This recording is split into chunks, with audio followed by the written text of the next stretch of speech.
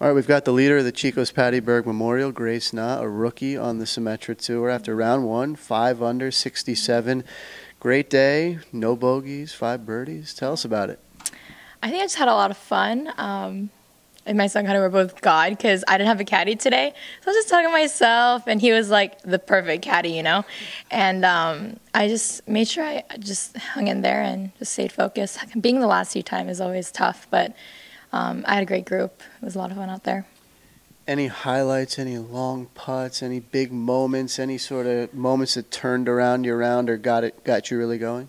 I think 16 and 18 was probably two good holes for me. On 16, I hit it in the middle of the fairway, but I'm in divots, and I've been fixing divots all day. And you know, you would think you have good karma, but um, I just had a really good up and down after that bad bad break. And the last hole, I was I want to say about 195 out into the wind. I was like, I'm not even going to get to the green, so just rip a five wood and just get up and down. And I stick it to three feet, and my playing partners were like, "You didn't look very happy after that." I was like, "I thought I had no chance," but it was a, it was just a good day for me. Mm-hmm.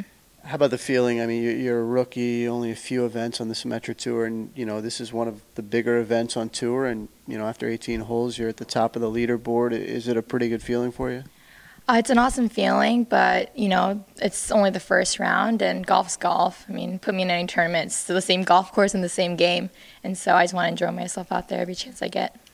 Tell us your story, Grace, because you really just graduated from, from Pepperdine in December. You were playing Q school sort of while you were finishing up, and now you're professional. Sort of give us a sense of what the last maybe half a year has been like for you.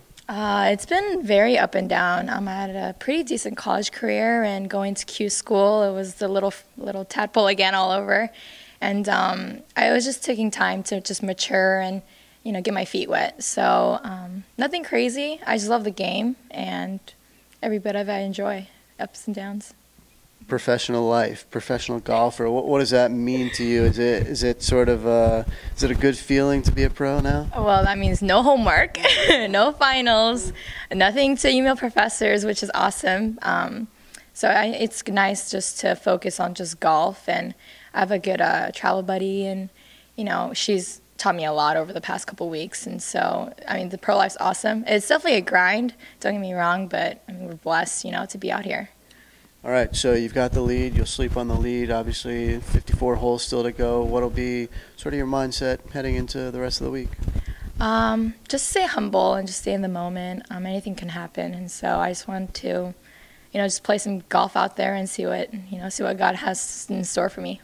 All right. Well, great job, and thanks a lot. Thank you.